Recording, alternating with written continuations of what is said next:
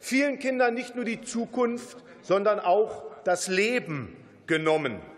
Nach nur acht Jahren war das Leben von Leo beendet. Ein Eritreer stieß ihn vor einen ICE. Mia aus Kandel wurde 14 Jahre alt, getötet von einem Afghanen mit einem Brotmesser. Julia, neun aus Dessau, spielte mit ihrem Teddy, als sie von einem geduldeten Afrikaner vergewaltigt wurde.